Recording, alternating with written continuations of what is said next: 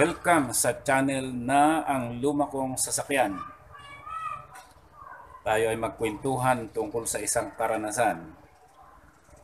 Mula nung napasa akin ang sasakyan na ito ay naranasan ko ang pagtigas ng manibela, ang hirap pihitin, lalong-lalo na sa liko at sa pagmamaniobra.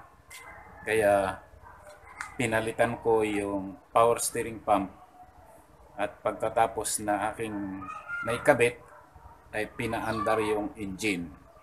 Eh, ito na ang nangyari. Ako'y nagulat at natakot. Bakit po? Kasi ang buong sasakyan ay nanginginig na at hindi mo alam kung saan pupunta o direksyon ang ang uh, steering wheel o manibela dahil ayaw mapihit pero meron siyang gustong uh, gawin. It's either pakanan o pakaliwa pero hindi naman umiikot. So natakot ako doon Gayun pa man, gusto kong makita kung anong itsura doon sa ETF na aking inilagay. Kaya bumaba ako, tiningnan ko, ay inilabas niya lahat yung ETF.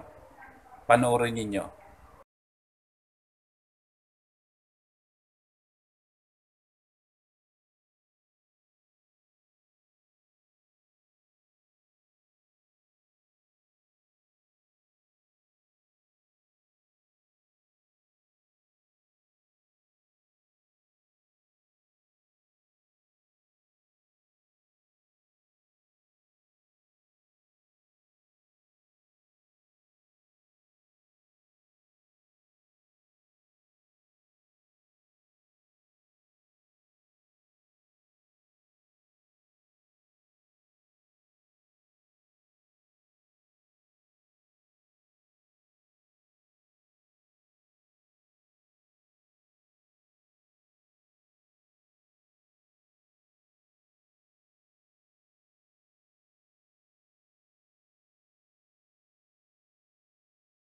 Pagkatapos na inyong napanood na ito ay inilabas niya, ano kaya sa palagay ninyo ang problema na dapat nating i-resolve?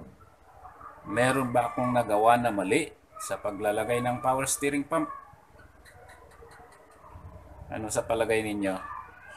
O kaya may problema sa power steering pump na binili ko? O kaya may problema sa gearbox uh, gusto ko marinig ang inyong comment, opinion para sa resolution ng isyong ito.